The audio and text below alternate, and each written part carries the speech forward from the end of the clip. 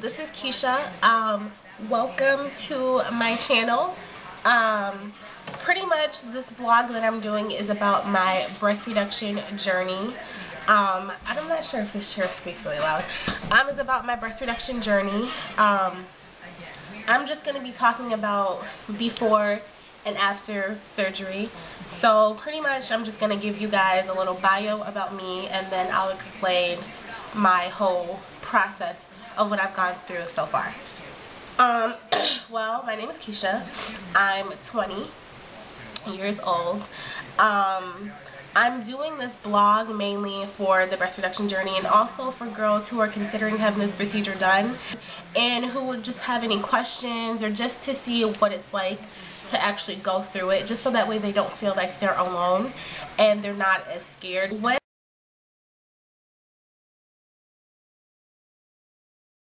I'm not sure. Um, excuse me. I'm not sure when I'm going to have it done. Hopefully sometime uh, this week or next week. So pretty soon, within the next week or so, um, I plan to have it done.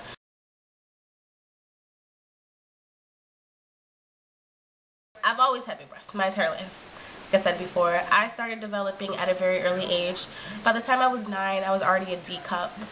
And then each year that went by, I always grew a cup size, a cup size, a cup size, and then finally to the point where I ended up at a 40F.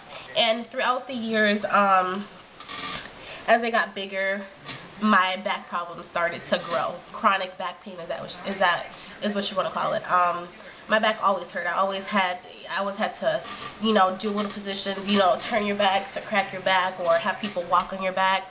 I had never been to a chiropractor before just because the insurance that I had never covered a chiropractor. So I never went to one. So I kind of just dealt with the pain. Um, it was always uncomfortable for me to like find a good enough bra. The bras that I get now, either have to be special ordered or I spend like 15 minutes in a store looking for a size to fit me where I can't wear halter tops or spaghetti straps or tank tops because it's hard for me to find a bra, a half bra that fits and lifts me up at the same time.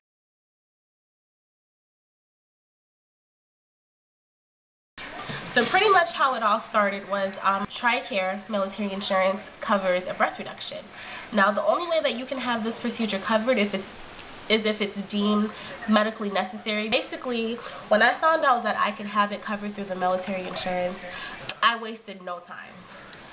I mean, once he told me, I think the next day I called and I verified my eligibility to see if it really was true, if I could have the procedure covered.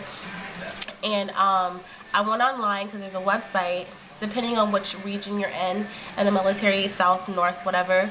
I'm in the south region. Um, we I, I went online to humanamilitary.com and it gives you a list of providers. And being the fact that I have TRICARE standard which is a different type of military insurance it gives you more freedom so you don't always have to get approval from TRICARE to go see a provider. So I went online found a provider I called them and you know I asked them you know a lot of questions if they covered breast reduction um, how much of did they cover you know how often they have patients coming in for breast reduction. So finally after I got done talking to the secretary and she uh, she gave me all the she answered all my questions that I needed she um, referred me over to a doctor and I spoke to I didn't speak to the doctor I still spoke to the secretary but she gave me a list of a doctor um, I started to look him up online and once I felt comfortable enough to meet him I went in for a consultation. And when I met with him um, it was really nice when I met with him. Um, when I went into the room it was like his office nice little office big little table pictures everywhere. And um, I spoke with him face to face and he pretty much just asked me why I was looking into getting a breast reduction you know, how has it affected me having big breasts, um, what size I want it to be, um, if I knew the risks, and um, he then uh, showed me before and after pictures, which was kind of nice. Um, and every picture that he showed me for before and after, he kind of explained in detail about each patient, um, just to kind of let me know like what my uh, my results would look like. Um, so that was kind of nice. So after I spoke with him face to face, um, he had one of his staff members lead me over into a room um, to put on a gown. It was a robe that I had to put on to get undressed so that way he could like, you know, see my breast and let me know how much I would have removed. So once I was into the room and I was in my robe, the doctor or the surgeon walked in and his assistant walked in walked into the staff member.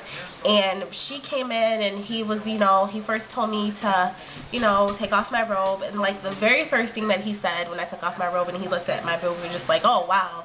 His first reaction was just like oh wow they're huge. Like that was his first reaction. So I knew like my breasts were big at that time after he said that. But um once I got my robe off he examined it and um he right off the bat like he already knew like how many grams I would have had to I would have to have removed. Um, he said 700 grams um, and she was just jotting down everything that he said. And as he you know as we were in the room he was explaining to me the risk and he was telling me where you know my nipple would be be placed again after you know he took out a certain amount of grams. And then also in the room they took pictures um, they took pictures from my front side, my left, and my right side. And, um, and those were the pictures that they sent in because I was having um, the I was having my insurance cover it. So all the stuff that they wrote down at the consultation, if you're having your procedure approved by um, if you're having your procedure approved by um, insurance, basically what they do are they take they take uh, pictures and they write down any type of uh, documentation saying like if you've ever um, been to a chiropractor, how is it causing you back pain, just anything anything that you think that will get you approved is what they send over to the insurance company. So after I got done doing all of that, um, pretty much uh, sent in all the documents, all the pictures. Um, I met with another one of his assistants, and I met. I sat in the room with her, and I, you know, she sent in the documents, and she said that it would take about two weeks for me to find out if I would get approved or not. Um, so once she sent that in, came back home, um, and once again I waited and waited for about three weeks. Three weeks went by, and I decided to call. You know. I didn't want to call him after the second week just because I didn't want to seem like a nuisance, like, okay, like, you just probably should wait. So I waited for three weeks, and when I called her, um, I guess there was, uh, I guess there was a mistake or an error when she was faxing over the documents to the insurance company, and that's why it was taking so long for an approval. So what she did was she resubmitted the documents or the pictures or whatever that I had from my initial consultation the first time. She resubmitted the document and the insurance company approved it two days later. Um, how I found out that I was approved with the insurance company that I have, you can go online and you can check referral statuses. Um, so that's how I found out that I was approved. Typically, so like most times they mail you a letter. I've already received my approval letter in the mail already. But most times they send you approval letter in the mail or if they call you. So now that I've been approved, um, I plan to schedule my surgery sometime soon. So when I do have it scheduled, I'll be sure to keep you guys updated. Um, for any for anyone who has questions, um, who yeah, for anyone who has questions, um, just write me questions down below, and I'll you know answer it. For anyone who subscribes to my you know my channel, I I'll subscribe back and also um, I won't be posting any before and after pictures here on YouTube. Um, there's a website called realself.com and that's where I'm going to be like posting like my before and after pictures. So I'll leave the link down below too as well so that way you guys can if you want to see pictures you guys can um you know go down below below the little uh the thing and check my pictures out. Yeah, if you guys have any questions, just leave all your questions down below and I'll answer them. So, uh, I will be getting back to you guys in a few days to let you know when I'm going to be scheduling my surgery. Okay, talk to you guys later. Bye-bye. Hey, check it. Hey, Roscoe. Cuff your chick. Hey, check it out, dog, man. It's your big homie Bow Wow, right? Hey, man, I think it's about time me you hooked up. You know what I'm talking about, man? Did something for the radio, man. But on top of that, man, something for the ladies. You understand that? Let it go. Oh.